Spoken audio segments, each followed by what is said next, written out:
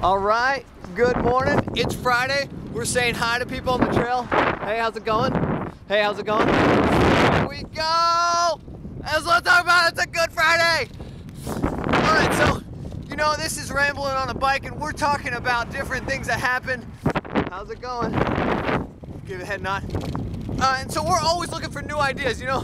Rambling on Bike Incorporated is looking for ideas of things to talk about, things to discuss. What do you want to hear? So let me know.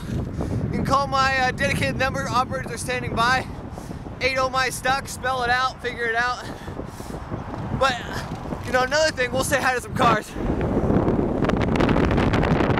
We're getting the word out. You know, I just need a shirt saying "Rambling on a Bike." We'll be getting the word out, man. Hi.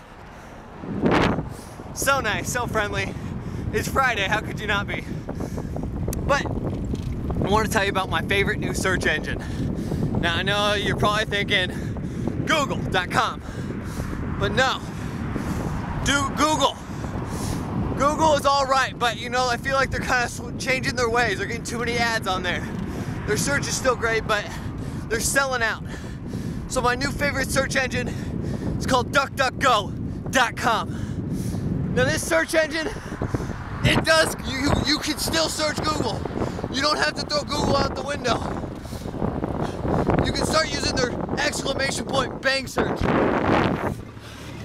Right? And then you can start to go exclamation point M mapped wherever you want. Search on Google Maps. That's the segment. I gotta go.